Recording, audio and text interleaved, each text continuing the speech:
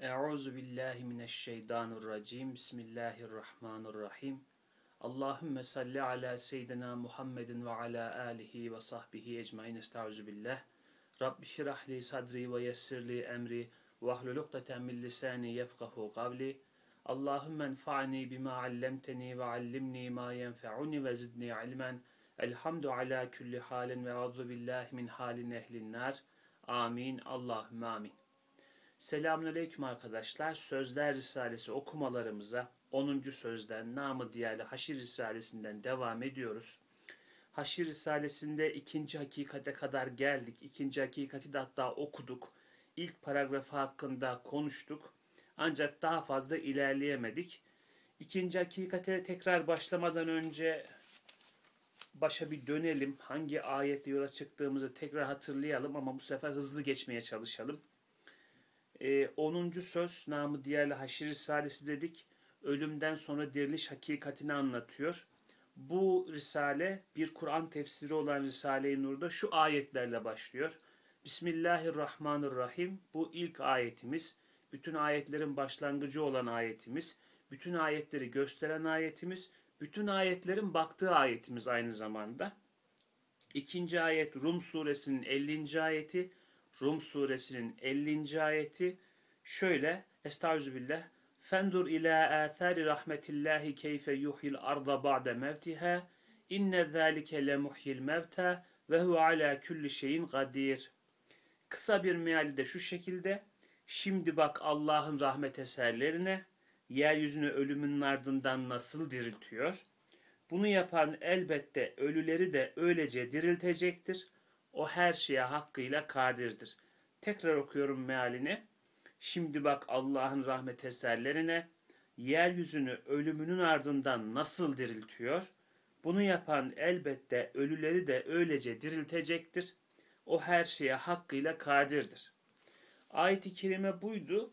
Ayet-i kerimenin bize öğrettiği perspektifin eşliğinde günlerdir, belki haftalardır tefekkürlerimizi yapıyoruz, yürütüyoruz. Elbette üstadımızın himmetiyle de biraz bize gösterdiği e, ışıklarla, onların izinden giderek anlamaya çalışıyoruz metnimizi ve bu ayeti öncelikle.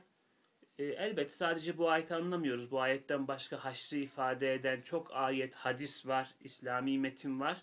Onları da anlamış oluyoruz bu Risale'yi okurken. Ve mutlaka bu metinlerin zaten hepsine bakar.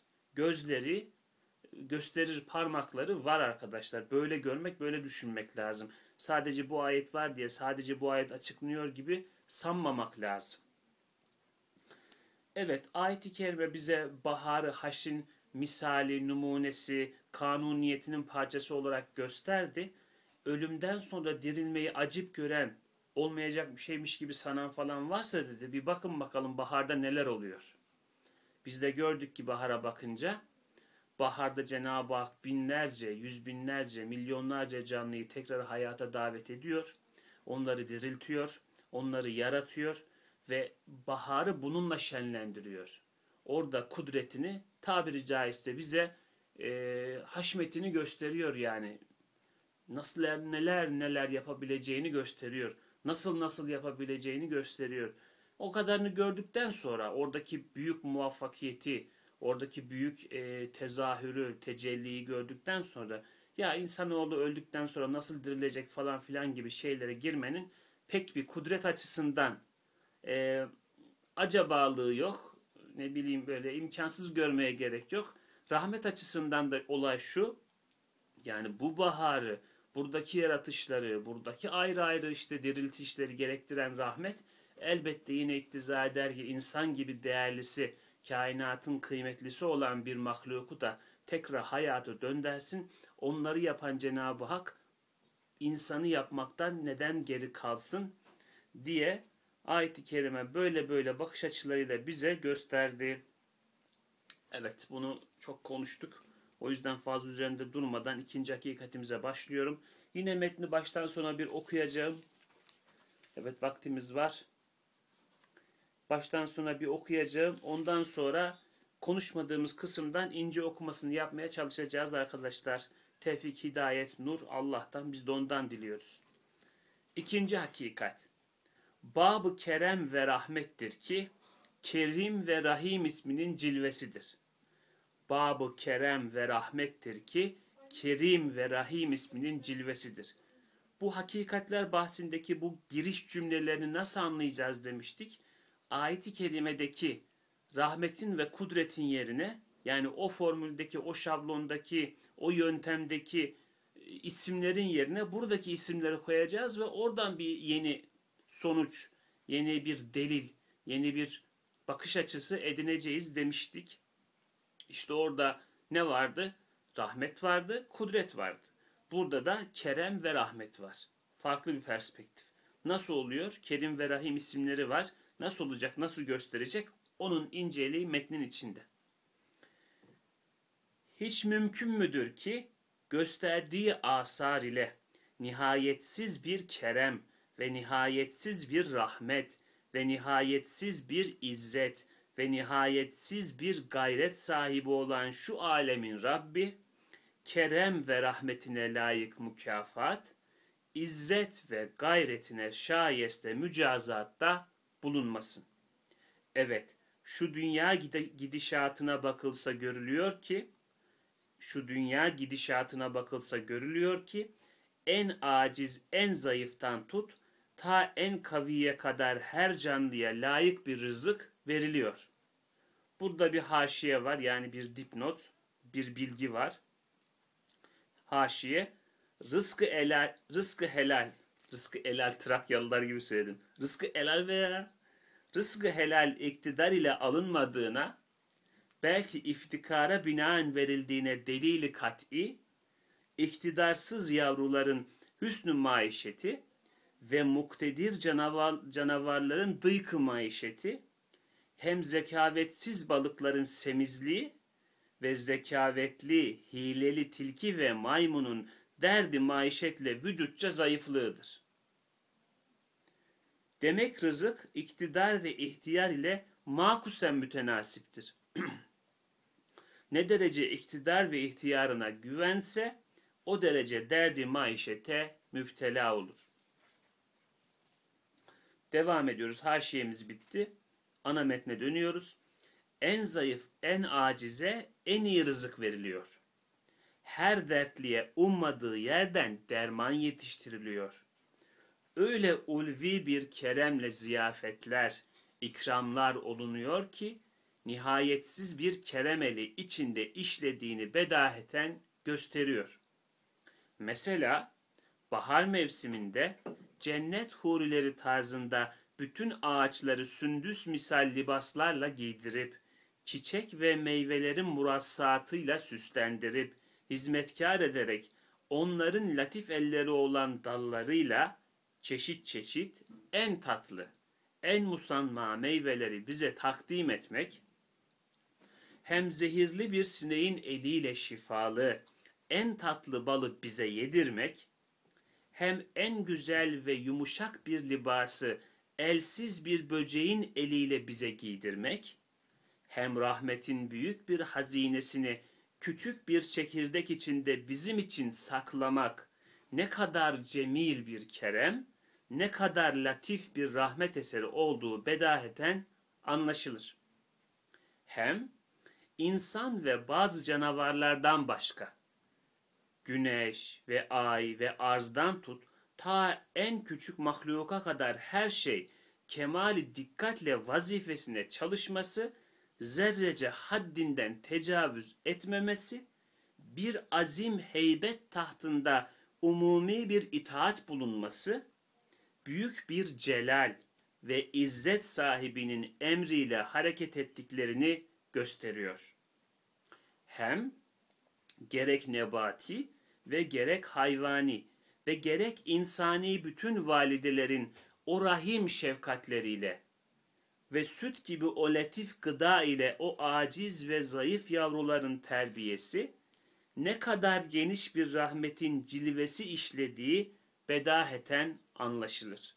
Burada yine bir haşiyemiz var. Yani bir dipnot, bir açıklama metni. Haşiye, evet aç bir arslan, zayıf bir yavrusunu kendi nefsine tercih ederek, elde ettiği bir eti yemeyip yavrusuna vermesi.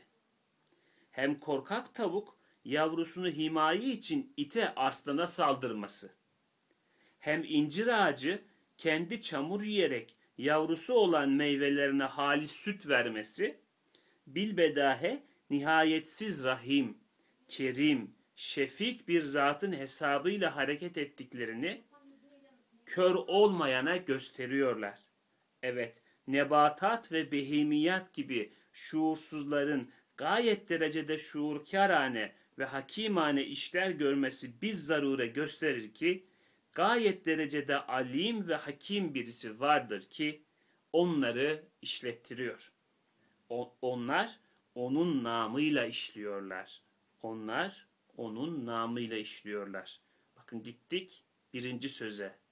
Allah namına işle, Allah namına al, Allah namına ver, Allah namına işle. Yani oradaki hakikate bakınız nasıl bir haşiyenin içinde bağlandık. Bediüzzaman'ın metinleri böyle örgü gibi. Hepsi bir diğerine gönderme yapıyor. Kendisi de bazen özellikle belirtiyor. Bunlar şurada şurada şurada anlatılıyor diye. Ama belirtmese bile metnin içinde çok böyle girift bir ilişki var. Yani bunu Bediüzzaman'ın bir orijinalliği olarak anılabilir. Bence bunu yine Üstad Hazretleri Kur'an'dan ve sünnetten almış bu e, üslubu. Çünkü Kur'an'da da ayetler mesela birbiriyle çok girift bir ilişkide. Bir ayeti anlarken ister istemez Kur'an'da aynı mevzuyla ilgili diğer ayetlere bakmak zorunda kalıyorsunuz. Neden? Çünkü göndermeler var, oradan buraya işaretler var. Oradaki kelime orada açılıyor, oradaki hakikat burada açılıyor. Oradaki hakikat bununla tamam oluyor, buradaki beyan oradakiyle tamam oluyor falan filan. Yani ki müfessirler falan da zaten mealciler bile hatta altında böyle dipnotlarda işte bu ayet anlamak için şu şu ayete bakınız veya bu mevzuyu daha önce şu şu ayette konuşmuştuk gibi gibi şeylerle ifade ediyorlar. Kur'an'da öyle, sünnette öyle değil mi? Sünnette de öyle. Hadis-i şerifleri anlarken de Efendimizin bir yerde söylediğini başka bir yerde söylediğiyle ne yapıyoruz? Karşılaştırıyoruz. Hatta e, fıkıh bilmek için neden hadis bilgisi gerekiyor? Bunun karşılığı da aslında bu sorunun cevabı. Çünkü e, iyi bir fıkıh halimi olmak için hadisleri kuşanmış olmak lazım. O birbirini açar, birbirini gösterir, birbirini izah eder, birbirini tamamlar, birbirini sınırlar, birbirini çerçeveler diyelim hatta. Beyanların topyekün kafanızda en azından kuşatabildiğiniz kadarıyla bulunması lazım ki ondan sonra oradan işte müştehit alimlerimizin e, yaptığı itibariyle söylüyorum istikametli bir fıkıh çıkabilsin. Yoksa bir hadisi aldım ben buna göre amel ediyorum. Bir hadisi aldım ben buna göre amel ediyorum. Ha faziletle dair işte e, müstehaplara dair olabilir ama mesela fıkha dair meselelerde fakihlerin sözünü takip etmek daha doğru olur. Çünkü biz o hadisi sınırlayan başka hadis var mı? O hadisi açan başka hadis var mı? O hadisi nesheden başka hadis var mı falan bilmiyoruz arkadaşlar. O yüzden bizim doğrudan sünneti hadislerden almaya çalışmamız kendimiz itibariyle, nefsimiz itibariyle, cahilliğimiz, avamlığımız itibariyle söylüyorum doğru değil. Biz fakihlere tabi oluruz. Çünkü o ilmin ehli değiliz. İlmin ehli olmak istiyorsan ol. Ama değilsen elbette ihtisas sahibine e, ne yapacaksın? Bağlanacaksın ister istemez. Taklit edeceksin. Yoksa işte ben işte tıp aldım işte şeyi bir tane tıp kitabını oradan tıp öğrendim artık ameliyata başladım. Kimse bunu kabul etmez. Kitap okumakla tıp olmaz. İlla bir doktorun yanında eğitimini göreceksin vesaire işte. Pratisyenliğini, uzmanlığını falan yapacaksın ancak öyle.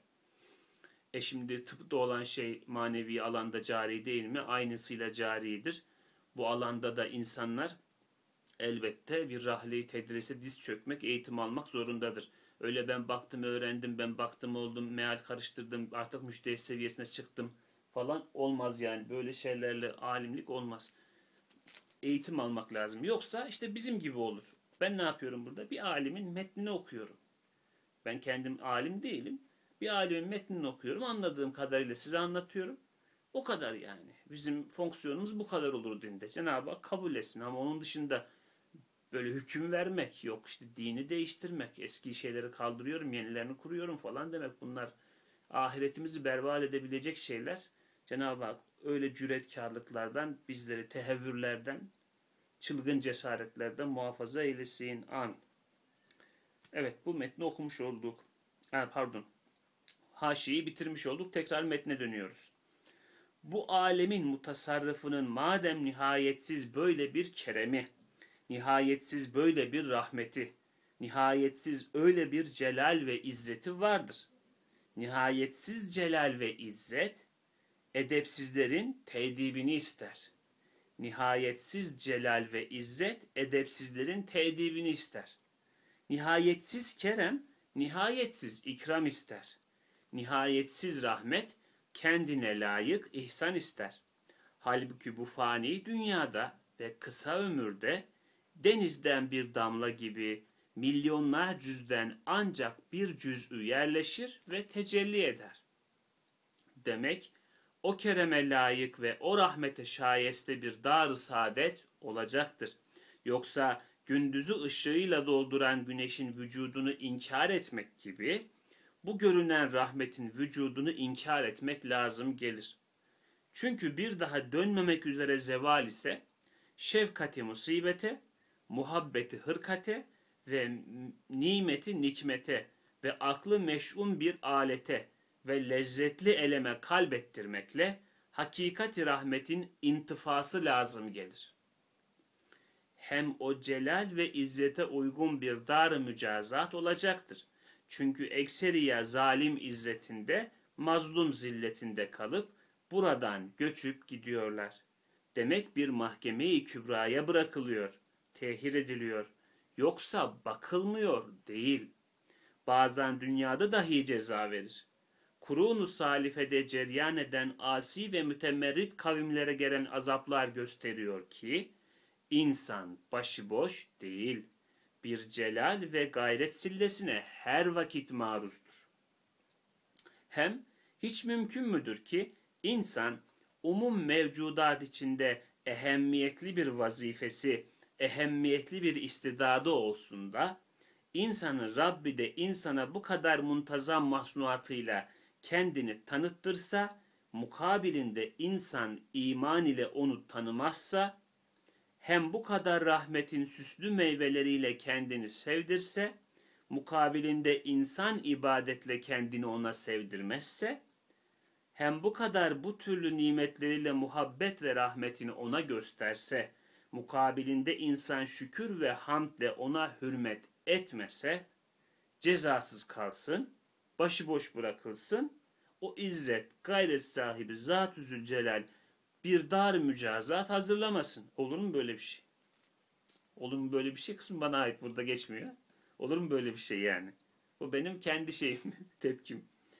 Hem hiç mümkün müdür ki o Rahman-ı Rahim'in kendini tanıttırmasına mukabil, iman ile tanımakla ve sevdirmesine mukabil, ibadetle sevmek ve sevdirmekle ve rahmetine mukabil, şükür ile hürmet etmekle mukabele eden müminlere bir dar mükafatı, bir saadet ebediyeyi vermesin. Diyoruz ve metnimizle vedalaşıyoruz. İkinci hakikat burada bitmiş olduğu. Tekrar başa dönelim ve konuşmadığımız kısımları konuşalım. Bakın dilim sürçüyor. Benim su içme vaktim gelmiş.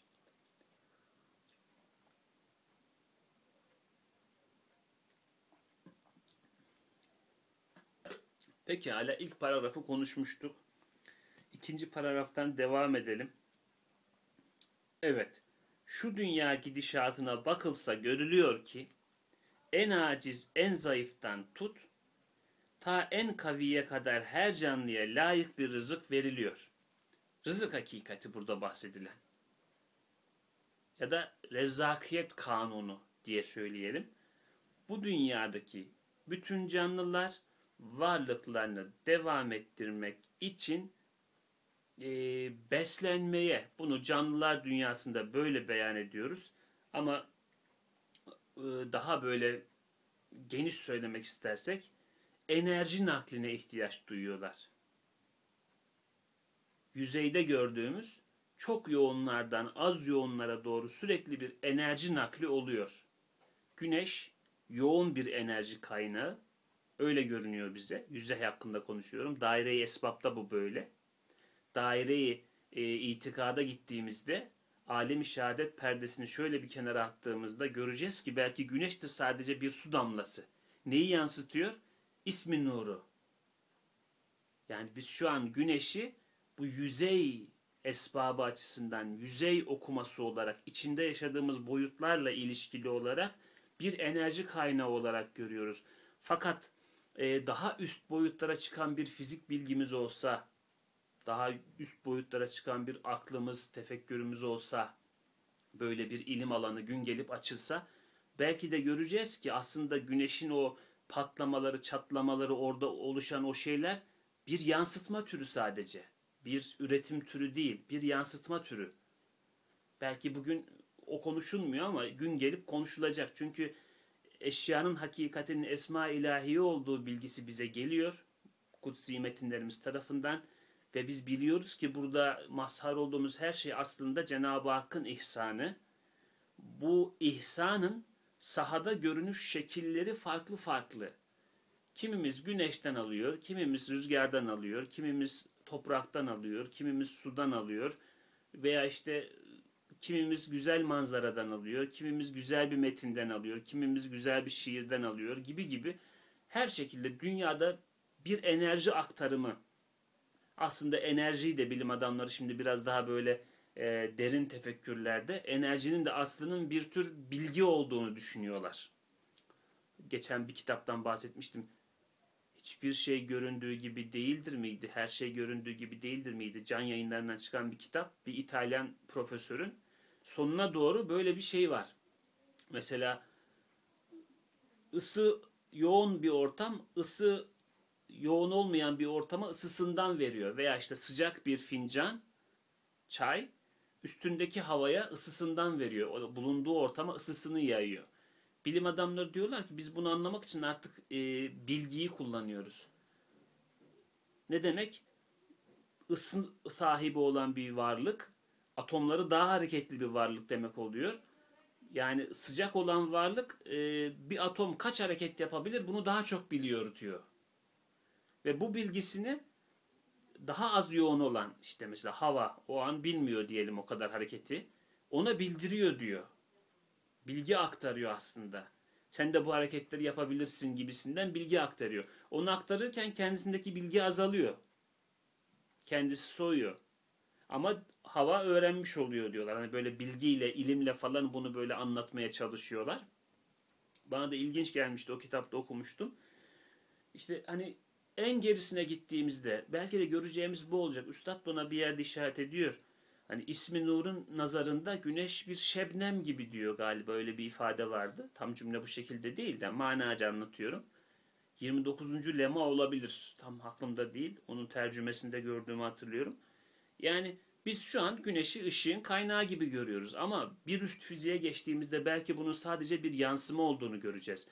Ee, nasıl denizdeki damlacıklar güneşi yansıtıyor, içlerinde güneşi görüyorsun damlaya baktığında veya işte karşısındaki manzarayı görüyorsun gibi gibi. Belki güneş de uzayda oluşmuş bir damlacık ama farklı bir fiziğe sahip olduğu için biz oradan yansıyanı onun malı gibi anlıyoruz. Biraz da bu mukarenet ilişkisini yaratış ilişkisi sandığımız için modern fizik buna alıştırdığı için bizi işe yarayan şeyi e, hilkatin de açıklaması sandığı için halbuki bu öyle olmak zorunda değil. Bir bilgi işe yarıyor diye her konuda haklı olacak diye bir şey yok. Yine işte o bilim felsefesi diye bir kitap okumuştum hatırlayacaksınız. Orada bundan bahsediliyordu. Ya bu programlarda bahsetmediysem de sosyal medyada bahsettim. Şimdi ben bugün e, pazar desem bugün pazar değil bugün cumartesi. Bu bilgi yanlış bir bilgidir. Ama bugünün pazartesi olmadığı, salı olmadığı, çarşamba olmadığı, perşembe olmadığı, cuma olmadığı konusunda bu bilgi doğrudur ve işe yarar. Yani pazar günü yapılacak bir şey var, cumartesi günü yapılacak bir şey var. Bir de diğer günlerde yapılmaması gereken şeyler var diyelim. Şimdi ben bugünü yanlış da tayin etsem, o ta- yanlış tayinim diğer günlerde yapılmayacak şeylere engel olduğu için yine doğrudur. Bunu Popper e, anlatıyor çok mesela kendi bilim felsefesinde. Biz aslında bilimde diyor yanlışımızı azaltarak ilerliyoruz. Eskisinden daha az yanlış bir şeyin içindeyiz diyor mesela fizikte. Bu kesinlikle doğru değildir diyor. Doğrunun ta kendisi değildir diyor. Hakikat değildir diyor bu ulaştıklarımız. Biz yanlışımızı azalta azalta çıkmaya çalışıyoruz yukarıya diyor. Aslında her bilgi yanlış diyor yani adam. Hani bunu da şöyle bir örnekle anlatırlar. Şimdi cep telefonu ne içindir? Telefonla konuşmak için. Ama cep telefonuyla çivi çakılmaz mı? Ya çakılabilir. Sağlam bir telefonsa. işte benim bu kullandığım iPhone 3 çok sağlam bir telefon yani. 10 yıldır kullanıyorum. Yani onunla çivi çakabilir misin? Ya çakarsın ama amacı o mu? Değil. Şimdi işe yarıyor diye. Doğru olmaz yani. Onun için yapılmıştır demek olmaz.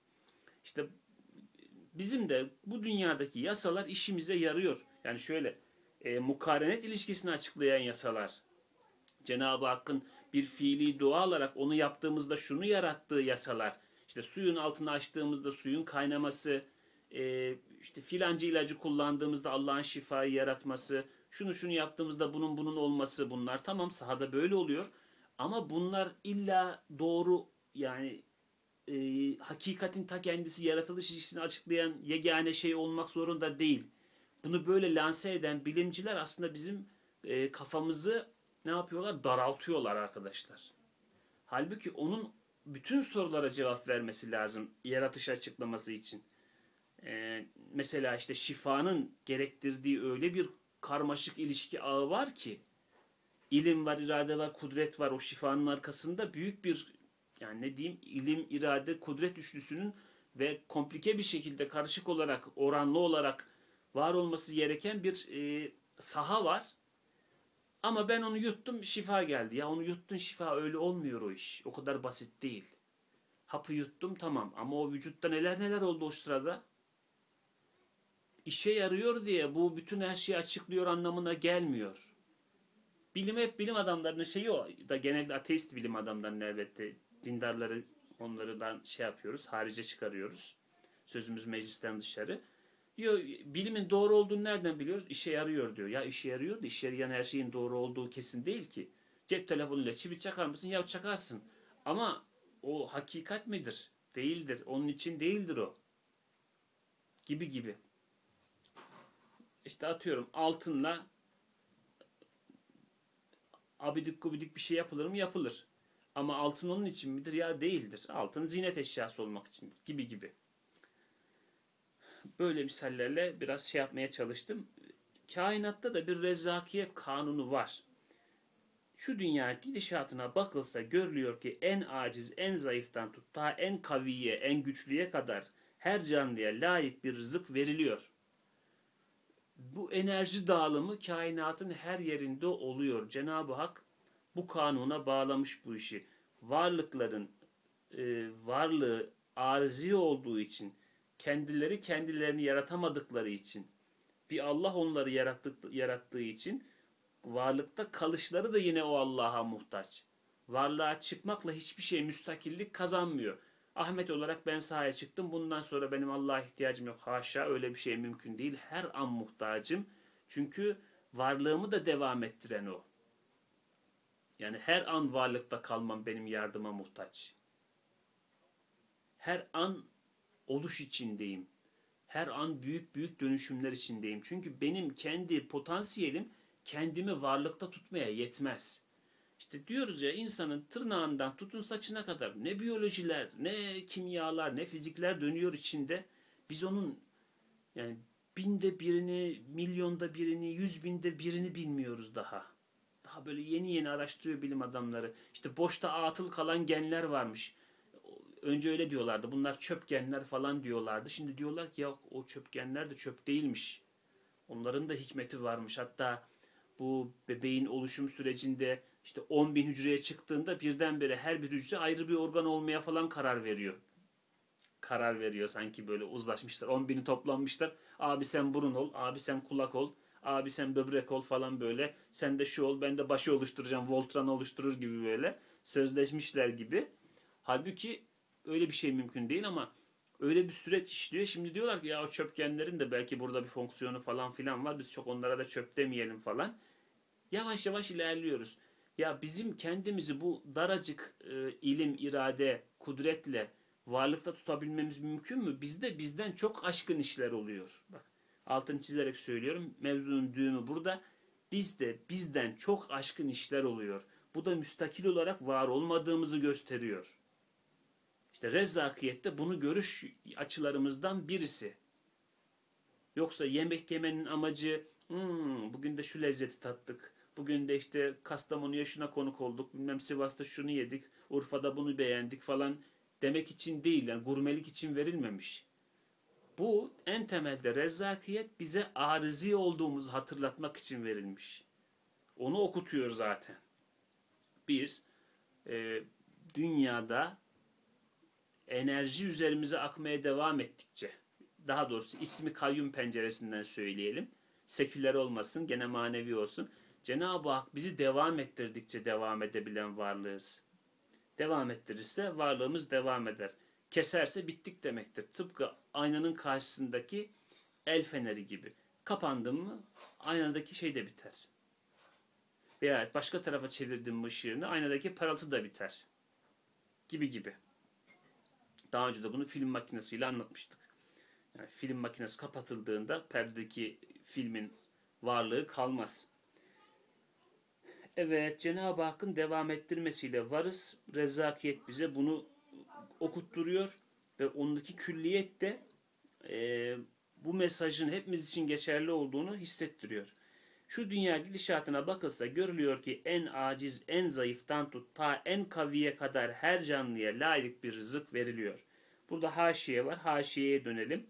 Rızkı helal iktidar ile alınmadığına, belki iftikara binaen yani fakirliğe, e, ihtiyaç çokluğuna binaen verildiğine delili kat'i, kesin delil, iktidarsız yavruların hüsnü maişeti, kolay geçimleri ve muktedir canavarların dıykı maişeti, geçim sıkıntıları, hem zekavetsiz balıkların semizliği ve zekavetli, hileli tilki ve maymunun derdi maişetle yani geçim sıkıntısıyla vücutça zayıflığıdır. Öyle değil mi? Mesela bir tırtıla bakıyorsun, bir meyve kurduna bakıyorsun. Löp gibi et yani. o civcivler bayram ediyor onları yediğinde.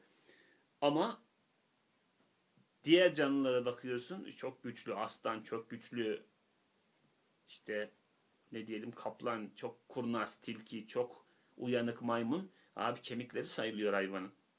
İşte o aslanlar falan onların doğru düzgün beslenebildikleri dönem çok az. Genelde aç geziyorlar. İşte o belgesellerde siz de şahit olmuşsunuzdur mutlaka. Adam diyor işte 15 gündür avlanamadı diyor. Artık diyor durumu kritik. Mutlaka bir av bulması lazım. Daha fazla böyle dayanamaz falan. Yani o güçle, celalle bilmem neyle 10 gündür bir şey yememiş o. E neydi hani güçlü kazanıyordu hep? Neydi işte hayat mücadeleydi falan? Yok. Öyle güçlünün kazandığı falan da yok. Öyle bir sıkıntı da hani şey öyle bir sonuç da çıkarılamaz bundan. Evet. Derdi maişetçe vücutça zayıflığıdır. Demek rızık iktidar ve ihtiyar ile makusen mütenasiptir. Ters orantılıdır yani makusen mütenasip, ters orantılı. İktidar ve ihtiyar ile rızık makusen mütenasip. Ha bunu insan dairesinde belki tam böyle görmüyoruz. Nasıl demek istiyorum? Mesela adam ne diyelim çok zeki bilmem ne şu bu işte geliyor diyelim akıyor ona rızık. Çok da zengin olmuş işte atıyorum Microsoft'un başkanı. Adam bir program bulmuş falan filan çok büyük paralar kazanıyor falan filan. E, ama insandaki durum biraz imtihanla ilgili. Ve bir de şu var. Cenab-ı Hak vermese yine vermez. Öyle çok zekiler var açlıktan öyle. Hani bilim adamı olup da çok büyük buluşlar yapıp da Tesla mesela öyle çok da rahat yaşamamış adam. Bak yine ilgili olmadığını görüyorsun. Cenab-ı Hakk'ın oraya o şeyi tayin etmesi başka bir kanunla oluyor. İlla o onu sonuç veriyor diye bir şey yok. Çok zekiler çok aç ölebiliyor. Çok kudretliler çok kötü durumlara düşebiliyor. Çok aptallar veya işte e, istidatsızlar şunlar bunlar çok büyük yerlere gelebiliyor. Çok büyük rızıklar elde edebiliyor diyelim. E, demek ki bu iş biraz da Cenab-ı Hakk'ın imtihanına, e, insan özelinde ayrı bir durum var. Ama canlılar dünyasına baktığımız zaman da zayıflık e, açlık, rızıksızlık manasına gelmiyor. Aksine zayıfların rızıkları daha da kolay, daha da bol. Sanki öyle gözüküyor kainatta ki sahadaki şey de öyle, sonuçlar da öyle. Burada arkadaşlar evrime şey var aslında. Güzel bir reddiye var yani bu temanın içinde. Evrim diyor ki işte doğal seleksiyon var, işte seçilim var, şu var, bu var. Ee, canlılar daha iyi beslenmek için hep böyle gelişmişler işte falan. Geride kalanlar iyi beslenememiş. O balıklar geride, karadakiler daha ileride falan filan. Ya balıklar daha rahat besleniyor. Niye balıklar geride? O bitki zekası diye bir kitap okumuştum. Orada da bu sorgulanıyordu güzel bir yerden. En şeye gidiyor böyle. Öglena ile bir canlı daha var böyle. Onları karşılaştırıyor. Birisi bitki hücresi en basit bitki canlısı. Birisi de en basit e, hayvan. Tek hücreli ikisi de. Bunlardan daha şeyi yok. En temelde bu ikisi var. Şimdi ikisini karşılaştırıyor. Bütün özellikleri aynı. Bir fark bitki hücresi daha fazla olarak e, fotosentez yapabiliyor. Şimdi diyor normalde evrimciler diyor ki diyor adam ilk hayvan bitkiden oluştu. Ama diyor bir de şunu diyorlar evrim hep ileriye doğrudur. Fakat diyor ilk bitki hücresinin e, işte basit bitki hücresinin o ilk hayvana dönüşen hücrenin dönüşmesi için ileriye değil geriye gitmesi lazım diyor. Bütün özellikler onda da var. Eğer hayvan olmuşsa bu diyor niyeyse durup dururken fotosentez yapmayı bırakmış olması lazım diyor. O şeyi özelliği vücudundan atmış olması lazım diyor. Onunla ilgili organelleri falan filan vücudundan atmış olması lazım diyor. Bunu diyor niye yapsın? Burada diyor işte evrimcilerin tekrar bir oturup düşünmesi lazım falan diyor. Yani o da yine galiba İtalyan bir profesördü. Kitabın ismi Bitki Zekası. Adamın tartışmaya açtığı şey güzel bir şey. Gerçi o adam kendisi de kendince bir evrim fikrine sahip ama o şey demiyor yani hayvanlar bitkiden geldi falan bu diyor yanlış böyle düşünmemek lazım diyor. Bitkileri ezdirmeyelim diyor. Yani bitkilerin çok üstün özellikleri var diyor. Oradan bir itiraz geliştirmiş diğer evrimcilere. Fakat bu bilgi hakikaten ilginç bir bilgi. Ee, ilk bitki hücresi, ilk hayvan hücresi onların tabiriyle söylüyorum. Bitki hücresi daha karmaşık. Daha üst özelliğe sahip. Fotosentez yapabiliyor. Hayvan hücresi yapamıyor. Bunun bu olması için bir özelliğini terk etmesi lazım. Yapmıyorum bundan sonra fotosentez deyip bırakması lazım diyor. Ama bu diyor evrimcilerin iddiası da şu diyor. Hep yukarı doğru olur evrim. Ama burada gerileme var diyor. Bak. İşte yani bunları daha konuşmak, düşünmek lazım. E işte bitkiler, işte balıklar karaya çıkmışlar, hay, hayvan olmuşlar, bilmem ne bilmem ne yani hikaye, masal, mitoloji. E kardeşim öyle olmuş ama balıklar daha rahat, daha çok, daha güzel besleniyorlar. Dertleri neydi yani? Niye darlandılar da şöyle bir açık hava alayım diye dışarı mı çıktılar? Oh be dünya varmış şurada bir mangal yapalım mı dediler. Yani niye çıktılar karaya? İşte. Neyse. Demek rızık iktidar ve ihtiyar ile makusen mütenasiptir. Ne derece iktidar ve ihtiyarına güvense o derece derdi maişete müptela olur. Ne derece iktidarına güvense o derece derdi maişete, geçim sıkıntısına müptela olur. Olur mu? Olur. İnsanlar da bunu kendi dünyalarında görüyorlar mı? Görüyorlar. İktisat eden derdi maişet çekmiyor. Ne yapmış oluyor? Bir anlamda e, ihtiyarına güvenmemiş oluyor. Yani Allah'ım ben bu malı biraz tutayım. Yani kendi şeyime, kazancıma güvenmeyeyim. Ne olur ne olmaz. Bu bir ihtiyat, ihtiyat, tedbir bunlar da bir anlamda iktidarına güvenmemektir, ihtiyarına güvenmemektir. E, Cenab-ı Cenab Hak da yiyiniz içiniz israf etmeyiniz buyurmuş. Efendimiz Aleyhisselatü Vesselam demiş ki iktisat eden derdi maişet çekmez. Aleyhisselatü Vesselam Efendimiz böyle buyurmuş ve hakikaten hayatta da böyledir. Hatta o işte zenginlik kısmına geldik ya zenginlerin çoğu da böyledir. Yani iktisat etmezse adam zaten zengin de olamıyor. Bir hani ayarlıyor fazla kaçırmayayım şunu şöyle şey yapayım bunu böyle ayarlayayım. Ne zamanki israfa saparsa onun zaten ocağı çöküyor. Evet buradan da ölçebiliriz. Haşiyemiz bitti. Tekrar metne dönüyoruz. En zayıf, en acize en iyi rızık veriliyor. Meyve kurtları vesaire, balıklar, şunlar bunlar.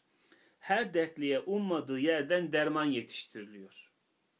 Değil mi? Doğada bir sürü canlı var. Hepsinin de şafi ismi imdatlarına yetişiyor. Mesela yarasalar bu Covid hastalığı da yarasalardan falan bulaştı diye çok mevzu oldu ya. Yarasalarda muhteşem bir bağışıklık sistemi varmış arkadaşlar. Cenab-ı Hak öyle yaratmış. Çok pis ortamlarda yaşadığı için yarasalar hani pisliklerde çok şey olduğu için böcek möcek çok yiyor falan. E kendi şeyi de var. Yaşadığı ortamlarda kalabalık koloni halinde yaşıyorlar. O hayvanda Cenab-ı Hakk'ın ihsanı bir bağışıklık sistemi varmış. E, ve ona bağlı olarak çok da hastalığı varmış vücudunda ama o hastalıklar ona bir şey yapmıyor. Başka canlılara geçerse tehlike. İşte o yarasa çorbasından falan başladı mevzusu oradan kopmuştu. Öyle ulvi bir keremle ziyafetler, ikramlar olunuyor ki nihayetsiz bir keremeli içinde işlediği bedaheten gösteriyor. Mesela bahar mevsiminde cennet hurileri tarzında bütün ağaçları sündüs misal. Sündüs neymiş? Sündüs misal İpekli elbise gibi demekmiş. Bakın işte bir kelime daha öğrendik. Kullanması da tatlı. Sündüs misal.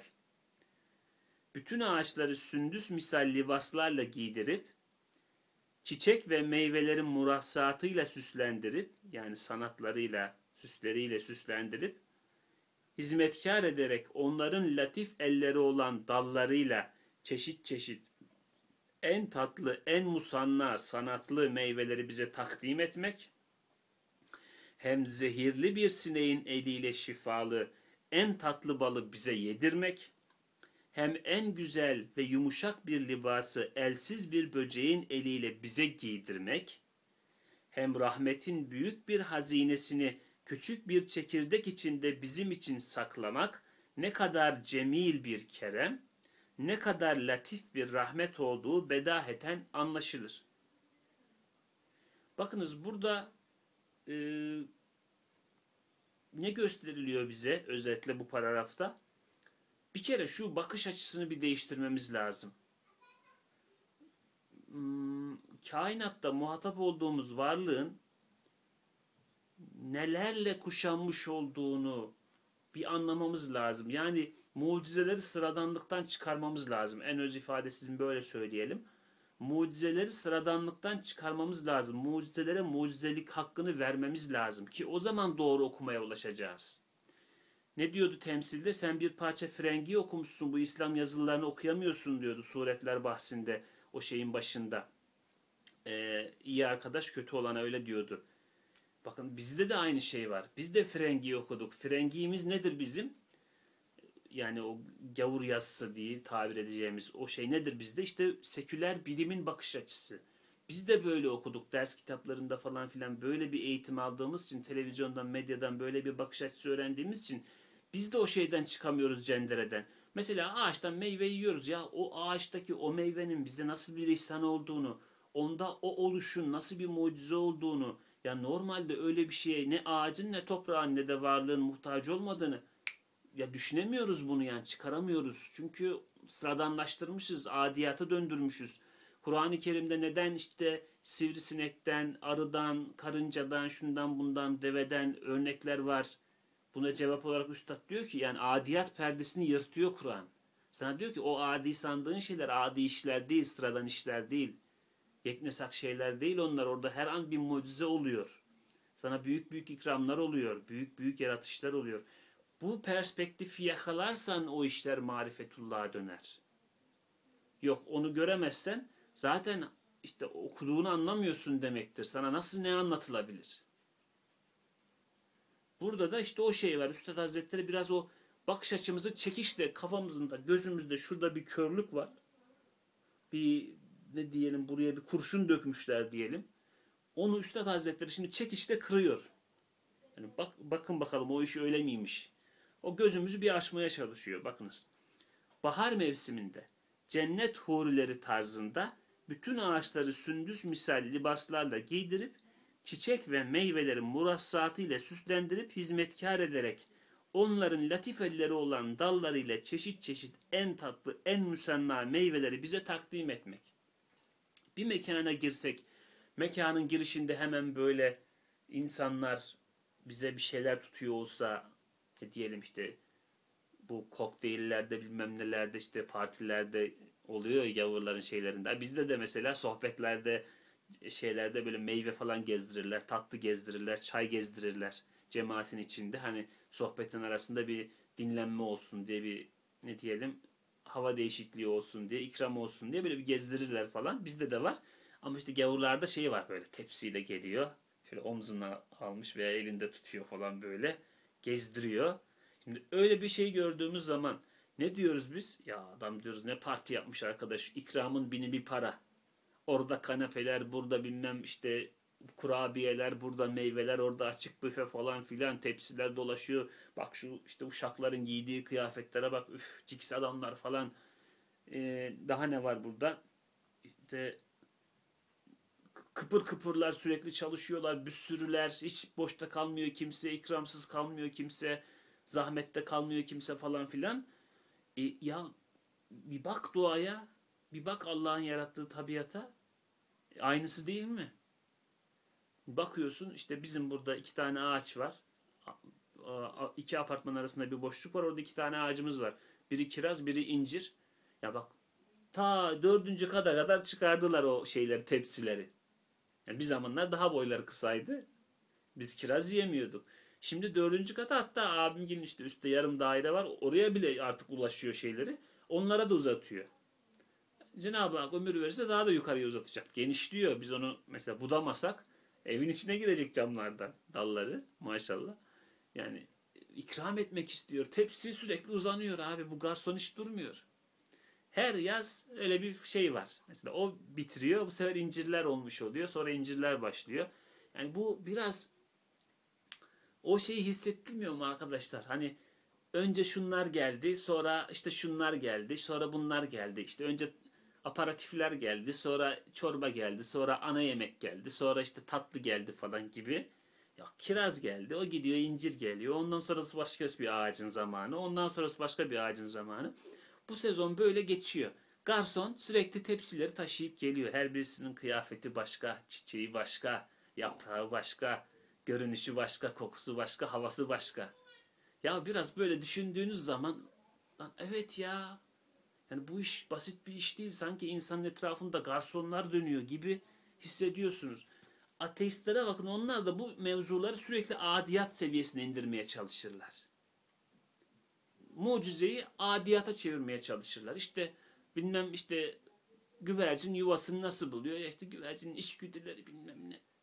İşte bilmem ne işte güç içgüdüleri oluyor bilmem işte balıklar bilmem ne balıkları. Ee, sazan mıydı onlar? Böyle doğdukları yere geri dönüp akıntının tersine yüzüp orada yumurtluyorlar falan. E şimdi onların şeyi geliyor. İşte işte onların içgüdüleri, işte bilmem genleri, bilmem bilmem kaç bin yıl seviye doğdukları yerin en uygun ortam olduğuna karar vermiş falan. Ya abicim sen hani niye böyle uğraşıyorsun ki? Olanın bir mucizeliğine baksana ya bütün resimde. Yani bu işte gidip bir lokantaya gidip veya işte bir davete gidip o davetteki şeye şöyle mi yapıyorsun? İşte bu garsonlar binlerce yıllık bilmem insan tecrübesi içinde bilmem şöyle böyle falan filan işte evrimin bilmem ne koşuluyla bu garsonlar bu hale gelmiş. Hayır böyle bir şey orada yapsan sana güler herkes. Salak derler ya bu adam ne yapıyor burada? Yani görmüyor mu bunun bir davet olduğunu, bunların özellikle ayarlanmış olduğunu. Onu ona bunu buna vermeye çalıştıkça işte e, sebepler dairesinde bilmem şöyle falan. Yani oranın saçmalığını orada anlarsın. Ama gelip kainatta işte bu şeyde onu yutturmaya, yedirmeye çalışıyorsun. Yiyenler de oluyor elbette. Bu bir imtihan dairesi. Ama arkadaşlar o işin böyle hani örtüsünü atmak lazım. Kur'an sünnet bize bunu öğretiyor. Adiyata indirdikçe mucizeler kapanır. Adiyattan çıkardıkça mucizeler açılır. Kainat bize gerçek yüzünü göstermeye başlar. Frengiden İslam yazısına döneriz. Frengi yazısından, gavur yazısından, okuyamadığımız yazıdan İslam yazılarına döneriz. Asıl yazımıza, asıl okuduğumuza, tefekkürümüze, düşüncemize döneriz. Öyle gördükçe. Evet. Çeşit çeşit en tatlı, en müsanna meyveleri bize takdim etmek, hem zehirli bir sineğin eliyle şifalı en tatlı balı bize yedirmek. Arı. Normalde iğneli, zehirli, vücudunda zehir üretiyor yani. Ama aynı canlı insan için en şifalı şeyi de üretiyor. bir, bir tuhaflık yok mu ya bu işte? Yani bir düşünmek lazım ya Allah Allah niye böyle oluyor? Şimdi bu canlı bunu üretiyor. Ötekini niye üretiyor? Madem hani zehir üretebiliyor, e, balına da biraz zehir katsın. Başkası yemesin. Kendisi tüketsin sadece. Madem zehri var. Yapabiliyor yani. Kendisi yapmış. Evrimde bilmem kaç bin tecrübesiyle bilmem ne e, onun şeyine sonucuna varmış. Ulan onca senedir ay, aylar barlarına çöküyorlar bunların. Bir oyun etsinler, balın içine bir şey yapsınlar. Binlerce yıllık tecrübede bunu geliştirememişler mi? Onu düşünsünler yani. O, o zaman başka yere gidiyoruz böyle. O zaman başka böyle çözümler üretiliyor falan. İşte mey meyve işte yukarıda geçen ya meyve güzel olmak zorunda mı ya? Tohumunu yaydıktan sonra onun işi görülüyor. Eğer çoğalmak olsa tek amacı. Ama öyle güzel lezzetli bir etle çeviriyor ki sen alıp yemek zorunda kalıyorsun. Derdi ne yani meyvenin? Hindiba gibi, kara hindiba gibi tüylerle yapsın. Üfleyince dağılıyor zaten rüzgar estin mi? O kabaklardaki o polenler mesela dağılıyor. Gidiyor zaten tohum olarak. Elmanın derdi ne yani o kadar lezzetli oluyor? Şeftalinin derdi ne? Portakalın derdi ne? Değil mi? Hem zehirli bir sineğiyle şifalı hem tatlı balı bize yedirmek hem en güzel ve yumuşak bir libası elsiz bir böceğin eliyle bize giydirmek İpek böceğinin kozallarından bahsediyor Üstad Hazretleri. Kendisinin eli yok. Ama en güzel şeyi örüyor. Hem rahmetin büyük bir hazinesini küçük bir çekirdek içinde bizim için saklamak, yani o tohumda çekirdekteki mucizeden bahsediyor. Bu rahmetin büyük bir hazinesini küçük bir çekirdek içinde bizim için saklamak. Ne kadar cemil bir kerem, ne kadar latif bir rahmet eseri olduğu bedaheten anlaşılır. Şimdi bu tohum, e, yavrulama, çoğalma mevzusunda şeyler diyorlar ki işte sekülerler. İşte diyor canlılar varlıklarını devam ettirmek ister. Neden isterler? Yani düşünelim arkadaşlar. Bir ağaçsınız. Kavak ağacısınız, söğüt ağacısınız, başka bir ağaçsınız. Şimdi zaten varlığı devam ettirmek gibi bilmem ne böyle bir felsefik bir sorgulamanız yok ki sizin. Neden şey yapmak istiyorsunuz? Ee, tohumlamak, o tohumlarla başka yerlere yayılmak, yavru sahibi olmak falan filan. Hadi insanın geçmiş gelecek algısı var. E, var mı bitkide böyle bir şey? Veya işte nesli devam ben oğullarımın işte doğasıyla bilmem ne. Öyle mi düşünüyor yani bitki? Yani bir canlı mesela bitkiler için veya işte diğer canlılar için neden yavrularına hayatını verip kendi hayatından vazgeçmek veya yavrularıyla devam etmek veya çekirdeğinde kendisini kodlamak, saklamak gibi bir şeye ihtiyaç hissediyor. Kendi varlığı bitince zaten varlıkla alakası kesiliyor kendi olarak. E onlarda böyle bir milliyetçilik, bir nesil şeyi de olmadığına göre yani ne anlamı var onun için? Ama o hizmeti yapıyor. Niçin yapıyor? Bak düşünmek lazım. O hizmeti yapıyor. Niçin yapıyor? Neden kendisi çamur yerken meyvelerine güzel bir su içiriyor? Temizliyor onu meyvelerine gönderiyor. Tohumlarını böyle evlatları gibi besliyor, büyütüyor. Niye bu kadar zahmet çekiyor? Dallarını yoruyor bir sürü ağırlık. İşte düşünmek lazım bunları yani. Bu işi sadece menfaate odakladığın zaman çok da menfaatli işler değil bunlar yani hayvanlar için. Tavuk mesela işte orada geçti ya da ileride de gelecek. Kanka ileride de gelecekmiş. Mesela horoz, tavuk başka bir canlı yavrusuna saldıracağı zaman nasıl direniyor böyle? Üstüne atlıyor. Normalde korkak bir hayvan ama orada bir cesaret geliyor ona. Niye böyle kendi canını feda ediyor yavrusu için? Hani menfaatti? Hani kendisi için vardı? Derdi ne? İşte diyorlar işte tavuklar işte nesillerinin devam etmesi için yavruların hayatının gerekli olduğunu biliyorlardı falan. Tavuk biliyordu bunu yani. İnsanoğlu bile bebeğini çöpe atıyor. Bazen öyle zalimler var. Allah onlardan muhafaza eylesin. Ama tavuk biliyor yani çocuğunun olması lazım ki işte nesil devam edecek. Tavukluğun şanı yürüsün. Çok ilgileniyor kendi şeyiyle. Soyuyla, klanıyla, kabilesiyle. Evet. ne kadar cemil bir kerem, güzel bir kerem, ikram, ne kadar latif bir rahmet eseri olduğu bedaheten anlaşılır. Hem insan ve bazı canavarlardan başka güneş, ay ve arzdan tut ta en küçük mahluka kadar her şey kemali dikkatle vazifesine çalışması, zerrece haddinden tecavüz etmemesi, bir azim heybet tahtında umumi bir itaat bulunması, büyük bir celal ve izzet sahibinin emriyle hareket ettiklerini gösteriyor.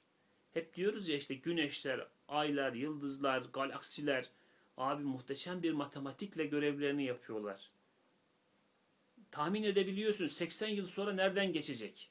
Ya 80 yılı ilerisini tahmin ediyorsun. Halley kuyruklu yıldızı 75 yılda bir mi dünyanın yanından geçiyor? Ne öyle bir şey var. 75 yıl sonra böyle olacak diyorsun tak öyle oluyor. İşte 200 yıl sonra şöyle olacak diyorsun işte öyle oluyor. Bir yıl sonra işte şöyle olacak diyorsun güneş şurada tutulacak öyle oluyor. Bak bu intizam şeyi gösterir yani bunlar emir tahtında hareket ediyorlar çıkamıyorlar sözden. Ama geliyoruz insan dairesine insan dairesi öyle değil. İnsanda bir cüret var. insan günahlara giriyor, hatalar işliyor. E, intizam dışı hareketlerde bulunabiliyor. Kendi yasaları olsun veya e, şeriatı yasalar olsun. Yani İslam şeriatı ile belirlenmiş yasalar olsun veya kendi hukukları olsun, örfi şeyleri olsun. İnsan ikisinden de çıkabiliyor. E, ama o diğer durum kainatta insana göre çok çok kuvvetli, çok çok ağır, çok çok güçlü şeylerin intizam içinde olması kemali dikkatle vazifesinde çalışması, umumi bir itaat bulunması, büyük bir celal ve izzet sahibinin emriyle hareket ettiklerini gösteriyor. Yani insan bu sözü dinlememezlik ediyor ama kainatın geneli yok. Öyle artistliklerde bulunmuyor. İşte o emanet ayeti diyor ya, bu emanet önce dağlara teklif edilmiş, çekinmişler yüklenmekten. Ama insan kabul etmiş. İnsan diyor çok zalim ve çok cahildir. Zalümen cehula. E, öyle mi öyle. Sahadaki görünüş öyle yani. Bu onların sözünden çıkamadığı şeye karşı insanın sözünden çıkması bir zalimlik ve cahillikten başka bir şey değil. Hem gerek nebati ve gerek hayvani ve gerek insani bütün validelerin o rahim şefkatleriyle ve süt gibi o latif gıda ile o aciz ve zayıf yavruların terbiyesi ne kadar geniş bir rahmetin cilvesi işlediği bedaheten anlaşılır. Küçücük yavruya diş yok ağzında, midesinin durumu iyi değil. Ama Cenab-ı Hak onun ne ihtiyacı varsa şifa olarak, gıda olarak, ne bileyim su olarak hatta yani varlığını devam ettirecek her şeyi annesinin içinde yaratıyor. O çocuk da böyle etmekle sadece annesinden o sütü alabiliyor. Zaten başkasının yapacak gücü de yok. Başkasının yapamayacak şekilde yaratmış, başka şekilde alınmayacak bir rızık da ona veriliyor. Alabileceği yerden veriliyor. En kolay bir şekilde veriliyor. Bir şey yok mu burada yani saat e, pardon anahtar kilit ilişkisi yok mu burada arkadaşlar? Hani bir düşünelim. Bu düzen nasıl böyle bu kadar intizamlı? Ona göre o buna göre bu olmuş. Öyle evrimi attım attım zamana evrim kayıra şeyle olmuyor bu yani. Orada büyük bir ne bileyim takdir var yani bunu görmek lazım. O latif gıda ile o aciz ve zayıf yavruların terbiyesi ne kadar geniş bir rahmetin cilvesi işlediği bedaheten anlaşılır. Burada bir haşiye var ama haşiyeye geçmeyelim çünkü vaktimiz bitti. Haşiyesini daha sonra konuşalım. E, metnin içinde bir parça ilerlemiş olduk. Bir sayfa kadar yine kaldı. O bir sayfayı da inşallah bir dahaki gün belki iki günde konuşarak bitirmek nasip olur. Arkadaşlar gördüğünüz gibi ikinci hakikatte gözümüzün üstündeki o kurşun tabakayı veya işte betonu kırmaya çalışıyoruz. Çünkü seküler eğitim, seküler e, alan, seküler medya, bütün bunlar, onların söylemleri, maruz kaldığımız bu endoktrinasyon bakış açımızı değiştirmiş. Biz, hayata mümince bakamıyoruz. Mümin nasıl görür anlamıyoruz. Atalarımızdan öyle bir şey duyduğumuz zaman büyüklerimizden daha az bu etkiye maruz kalmışlardan bize komik geliyor. Alay, edici, alay edeceğimiz bir şeymiş gibi geliyor. Böyle çocuklar bunlarla falan gençler çok alay ediyorlar bazen işte yağmuru Allah gönderiyor diyorsun. Ya diyor ne yağmuru Allah göndermiş işte bulutları bilmem ne var. O, o, tür, o tür açıklamayı seviyor o. İşte nem kalktı o nemler işte şey oldu sonra ısı değişimi oldu falan filan. Da böyle olmak zorunda mıydı? Bunu kendimize bir soralım. İşte diyor ısı şöyle oldu, bu böyle oldu da bir in bakayım o öyle olmak zorunda mı? Su buharlaştığında o kadar yukarı çıkmak zorunda mı? Çıkmak zorunda mı derken şunu diyorum. Hani karşılaştır bütün kimyasalları. Diğer kimyasallarda böyle mi oluyor? Yani suyun öyle özellikleri var ki diğer şeylerde yok. Mesela işte artı 4 derecedeyken donması orada donduğu zaman su yüzü, suyun yüzeyine çıkıyor. Buz. Alt donmuyor mesela. Orada bir yalıtım malzemesi yapıyor gibi. Alttakilerin canlılığı korunmuş oluyor. Suyun böyle diğer şeylere uymayan çok özelliği var. Hatta bilim adamları şimdi diyorlar ki ya su aslında dünyada oluşmadı. Dünya şartlarında oluşmadı. Uzaydan geldi falan filan. Sıkıştım hep uzaydan geldi. İlk canı nasıl oluştu? Uzaydan geldi. İlk işte su nasıl geldi? Uzaydan geldi. Bilmem ne oldu? Uzaydan geldi. Öyle sıkıştıkça uzaya atıyorlar. Sıkıştıkça evrime atıyorlar. Milyon yıl önce, milyar yıl önce. Yok arkadaş atlamaya, hoplamaya, kaçmaya gerek yok. Burada bir cevabını verelim biz bu olayın. Böyle kuşatamadığımız, göremediğimiz, e, el ulaşmadığı için akılda ulaşmayan yerlere atıp kurtulduğumuzu sanmayalım. Bugün de bu işi cevaplandıralım. Bu iş niye böyle oluyor? Bugün de cevabını bulsun bu iş ya. Bugün de bu anda, bu şu anda bulsun yani. İlim, irade, kudret karşılığı nedir bu işin? Burada verelim o cevabı. Böyle atmayalım geçmişe, atmayalım oraya. Bilmem uzaydan bir uzaylılar getirdi bizi bıraktı burada işte biz de çoğaldık falan. Böyle şeylere gitmeyelim. Gerek yok. Burada cevabını verelim. Mert olalım, erkek olalım. Evet arkadaşlar. Bugünlük de bu kadar. Yarın inşallah kaldığımız yerden devam ederiz. Subhaneke la ilme lena illa ma allamtena inneke entel alimul hakim ve ahiru da'vahum elhamdülillahi rabbil alemin. El Fatiha.